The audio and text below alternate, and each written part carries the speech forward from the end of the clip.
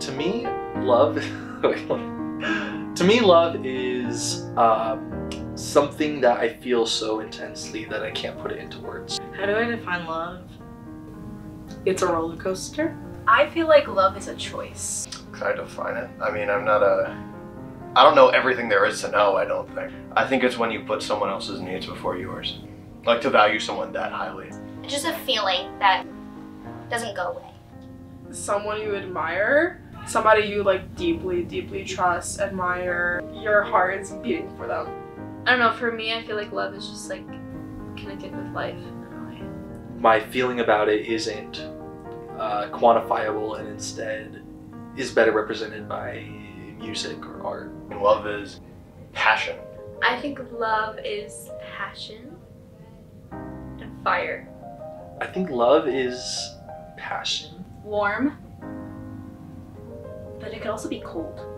All encompassing, powerful. What is that word when you you love something but it doesn't love you back? Unrequited. Um, love is emotional. For me, a lot of love is grief and it's tied to grief. Love is hurt. Like I think love is sacrifice and grief and hurt. Love is sacrifice. Love is empathy. Love is kindness. And it's constantly like a very nice, warm feeling. It's like a struggle, but it's also one of like the best feelings. It feels it feels great. um, it's one of the best feelings, I think, because of how special it is. Like it feels like you're in like your stomach is like a campfire and it's just like flames. Honestly, it feels like bouncy balls though too. Just starts like deep in your gut.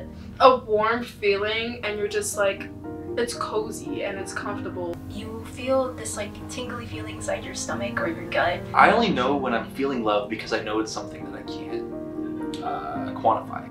This this um, internal warmth that just like takes over your body. From what I've experienced, it's like it's when you know you need someone and it just like an indescribable like wow this person is everything. How is this person even real? As intense as grief or as intense as pain, but just in like a but with a warmth to it. If you can't love yourself like as an individual, you can't love somebody else. People also forget that love is could also mean that you could also hurt each other at some point.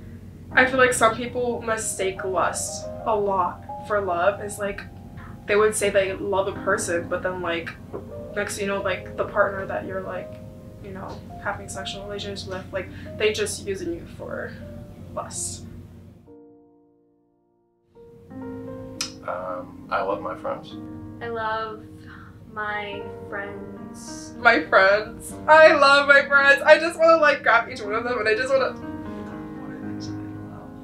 I think to me the highest form of love is friendship because there's something just really really special about being able to love someone with no strings attached. You don't love them because you share blood. You don't love them because they're sex. You don't love them for any reason other than you love them and like you want to be around them. I love dance. I love my friends. I love Roblox. Family. I love myself. I love music. I think music is like the language of love. I love music. I love art. I love my family so so much, even though sometimes there's a lot of issues. I love my family as well. I love people. We all have something to give. I love roller skating. I love modeling. I'm trying to love life and just everything it has to offer. I love those who love other people and very loudly and very passionately. And I love being alive. Yeah.